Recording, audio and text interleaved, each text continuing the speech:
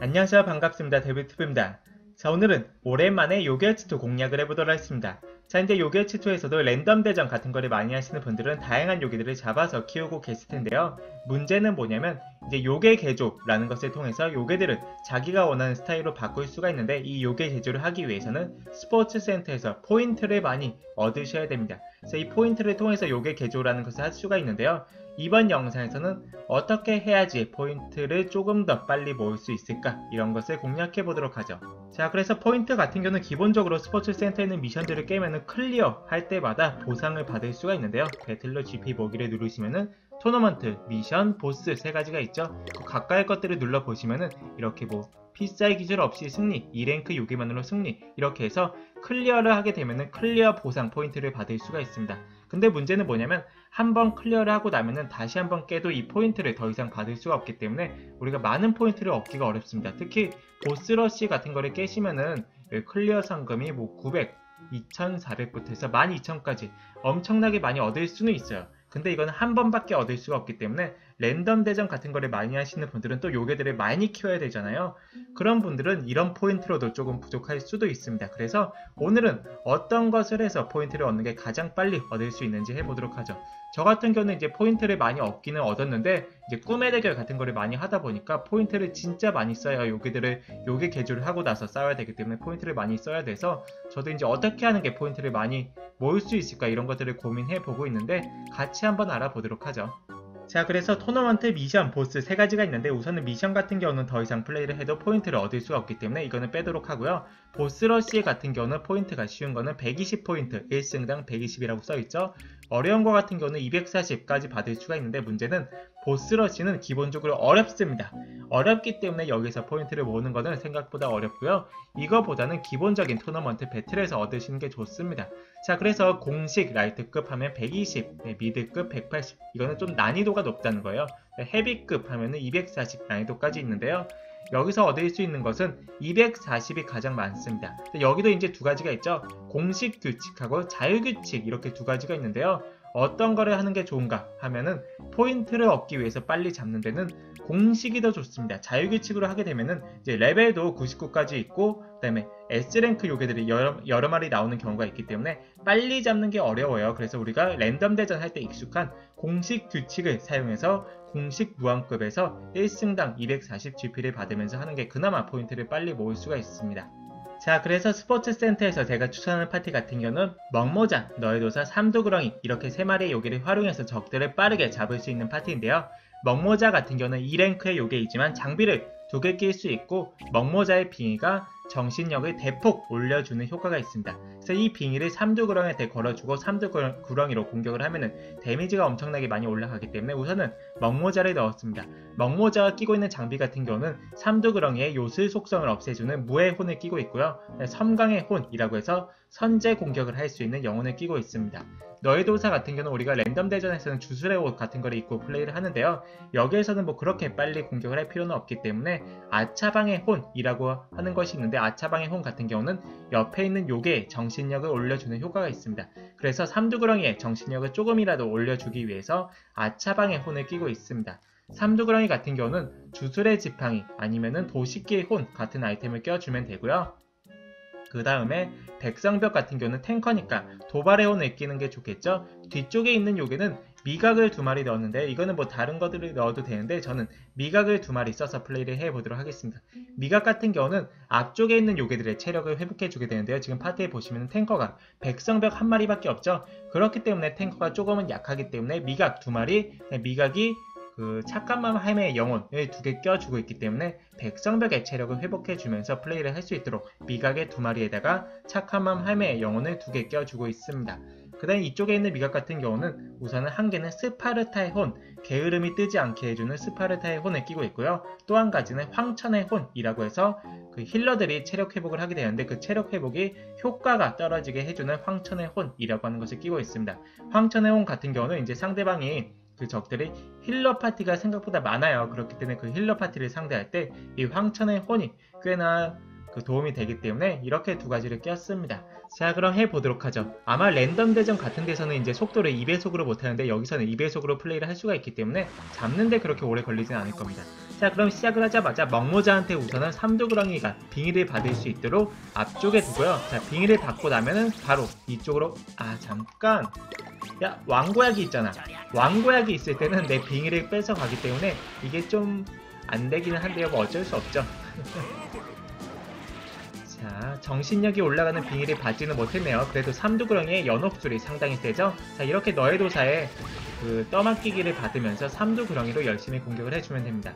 탱커가 백성벽밖에 없기 때문에 이게 생각보다 오래 버티지를 못해요. 그렇기 때문에 미각 두 마리랑 체력 회복해주는 영혼을 끼는 게 생각보다 중요합니다. 제가 백성벽 말고도 마스크냥 같은 요괴들로 플레이를 해봤는데요. 마스크냥은 생각보다 오래 버티지를 못해서 그냥 백성벽으로 플레이를 하시는 게 가장 좋을 것 같습니다. 자, 지금 보시면은 백성벽이 그렇게 오래 버티지는 못하죠. 그렇기 때문에 체력 회복해 주는 게 생각보다 중요하더라고요. 자, 이제 거의 다 잡았죠. 오케이, 오케이. 아, 빗나갔네. 가드가 그리고 풀려요, 자꾸. 가드가 풀려. 어, 자, 아직도 못 잡았네. 그렇지, 그렇지. 자, 이렇게 잡으면은 뭐 그렇게 오래 걸리지는 않죠. 이런 식으로 해서 저는 포인트를 모으고 있는데, 혹시 이거보다 더 괜찮은 파티가 있으면은 알려주시면은 제가 그런 파티도 한번 나중에 플레이를 해보도록 하겠습니다. 자 그럼 조금 더 플레이를 해보도록 하죠. 이제 이 무한급에서는 나오는 파티들이 몇 가지가 정해져 있기 때문에 몇 번 하다 보면은 그렇게 어렵지는 않아요. 아, 지금 파티도 생각보다 강력합니다. 자 지금 파티 보시면은 이렇게 빙이 바꿔 바꾸고 왕대 쪽 기발하게 이런 요괴들이 있죠. 만약에 여기서 백성벽 대신에 그 마스크냥 아니면 참만모스 같은 요괴들을 넣으면은 그 탱커가 아주 금방 쓰러집니다. 그렇기 때문에 그런 요괴들보다는 개인적으로는 백성벽이 더 괜찮은 것 같아요. 그러면 너목차케 사운도 생각보다 괜찮습니다. 너목차케 사운 같은 경우는 이제 가드를 풀리는지 안 풀리는지 이런 거를 신경 쓸 필요 없이 그냥 해도 데미지가 반씩밖에 안 들어오기 때문에 뭐 빨간 도깨비라든가 뭐 이런 이런 상대가 있는 게 아니기 때문에 너목차케 사운도 괜찮습니다. 오케이. 자 이렇게 정신력을 대폭 올려주는 빙의를 받고 나면은 데미지가 거의 200 가까이 나오기 때문에 두 번 정도만 데미지가 제대로 들어가도 다 쓸어 잡을 수가 있습니다. 금방 잡죠? 이거보다 더 쉽고 빨리 잡을 수 있는 파티가 있으시면은 알려주세요. 제가 무사냥 여섯 아 무사냥 여섯 마리가 아니고 무사냥 파티 뭐 여러 가지를 해봤는데 생각보다 그렇게 빠르지가 않더라고요. 그냥 이 삼두구렁이로 이렇게 때리는 게 가장 빠른 것 같아요. 자 조금만 더 해보죠. 빙의를 받고 나서 이렇게 바꿔줍니다. 빙의를 받고 나서 바꾸면 돼요. 그렇기 때문에 먹모자가 그 삼강의 혼을 끼는 이유는 이렇게 빙의를 시작하자마자 받을 수 있도록 하기 위해서 삼강의 혼을 끼는 거라고 보시면 돼요. 오케이. 자, 연옥줄이 데미지가 세죠.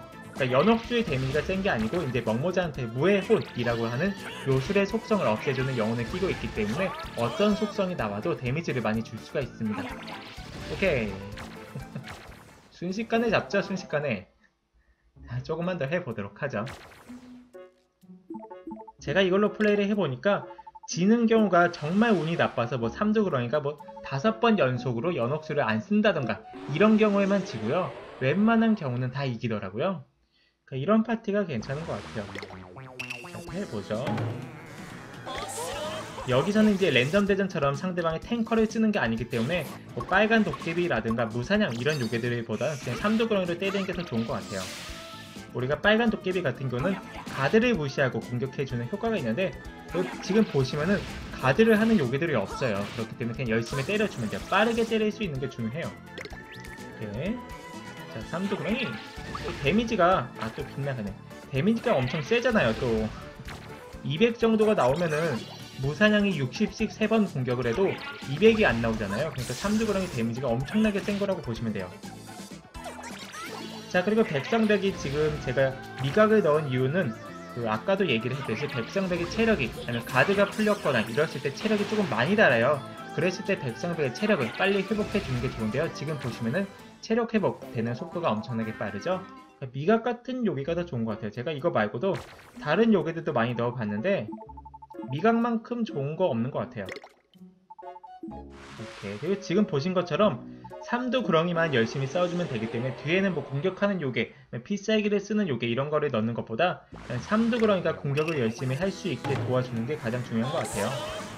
그리고 이 적들 중에 뭐 삼두구렁이 파티라든가 이런 것들은 안 나오기 때문에 그 삼두구렁이의 체력이 깎여서 죽는다 이런 걱정은 안 하셔도 됩니다. 자, 좀 더 공격을 해보죠. 이렇게. 이게 만약에 무의 혼을 안 끼고 있으면은 생각보다 데미지가 잘 안 들어갑니다. 그러니까 무의 혼을 꼭 끼시는 게 중요해요. 근데 삼두구렁이가 지금 보신 것처럼 미스가 생각보다 많이 떠요. 왜 이렇게 많이 뜨는지 모르겠어요. 미스가 좀 잘 뜨죠? 왜 미스가 잘 뜰까? 원래 그런가? 명중률이 낮은가? 잘 모르겠네요. 오케이. 진짜 금방 잡아요, 진짜. 그쵸? 녹이는 것 같아요, 녹이는 거. 전부 다 불태우고 있어. 자, 한두 판 정도만 더 플레이를 해보도록 하죠. 제가 이제 제가 생각한 파티는 이런 파티인데요. 혹시 이거보다 진짜 엄청나게 좋은 파티 있다. 라고 하시는 분들은 자신있게 댓글로 달아주세요. 제가 그런 파티도 한번 해보도록 할 테니까 꼭 남겨주시기 바랍니다. 제가 이제 꿈의 대결 같은 거를 많이 하다 보니까 포인트를 요괴 개조를 많이 해야 돼서 포인트를 진짜 많이 써요. 그래서 매번 이렇게 하는 게좀 귀찮은데요. 이거보다 빠른 방법 좀 알려주세요. 요괴 개조를 하는 게 너무 힘듭니다. 힘들어요. 뭐 어떨 때는 요괴 개조를 안 하고 꿈의 대결을 하는 경우도 있는데 웬만하면은 요괴 개조 같은 것도 하고 플레이를 하고 싶기 때문에 좀 아시는 분들은 알려주세요. 추천해주세요. 오케이. 이거보다 좋은 파티 찾기 어려우실걸요? 제가 해보니까 이 파티보다 좋은 파티 찾는 게 어려운 것 같아요.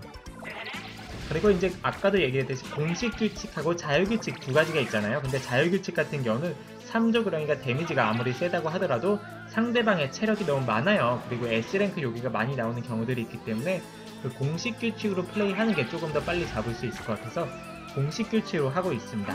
만약에 자유 규칙으로 했을 때 이것보다 더 빨리 잡을 수 있는 파티 있다 하시는 분들은 자유 규칙에서도 알려주시면 감사하겠습니다. 자유 규칙 같은 경우는 레벨이 99고 그 다음에 S랭크 요괴들도 마음껏 쓸 수가 있죠. 또 그런 것 중에서는 제가 무사냥 6마리 이런 것도 해봤는데 그렇게 빠르지는 않았어요. 그렇게 빠르지는 않았어요. 나중에 이거 초시계로 재볼까? 한 번 잡는데 대충 1분 내로 잡죠? 오케이. 자, 이렇게 해주고 공격해주면 돼요. 빙이 거는 것도 그냥 무시하면 돼요. 일단은 3조 그렁이만 안 죽으면 되기 때문에 백성덕이 조금 맞아도 돼요. 근데 지금 보시면은 여기 요괴성 검사, 요괴 검사 같은 경우는 데미지가 생각보다 세기 때문에 오 다행이다. 백성덕이 생각보다 오래 버티지를 못합니다. 지금 싸우는 파티가 생각보다 강해요, 쟤네가.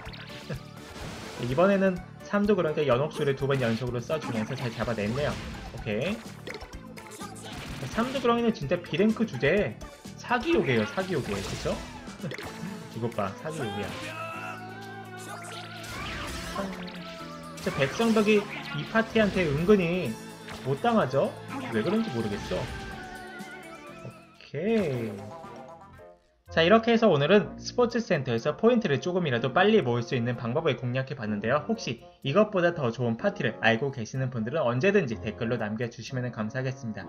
자 그럼 저는 요괴 개조를 하고 나서 꿈의 대결을 또 해보러 가도록 하겠습니다. 시청해주셔서 감사합니다.